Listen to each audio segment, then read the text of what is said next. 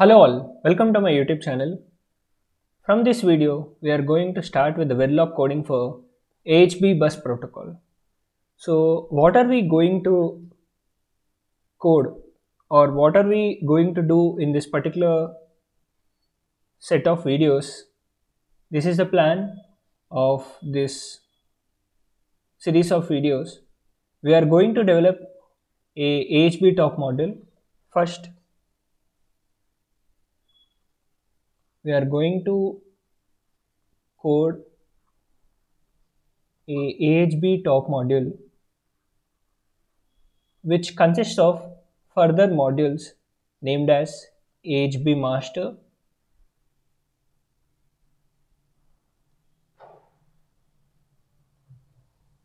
AHB slaves.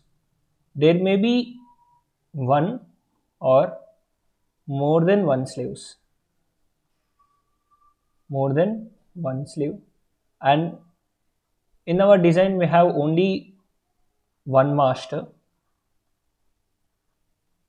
I'm not using multiple master and multiple slave I'm only considering single master and multiple slaves if we want to use multiple masters and multiple slaves we have to use an interconnect.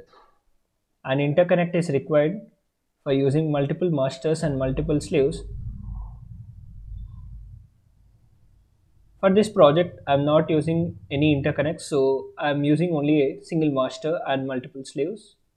So this is the AHB top module which consists of a single master and it, slaves can be single one or more than one and we are going to design a decoder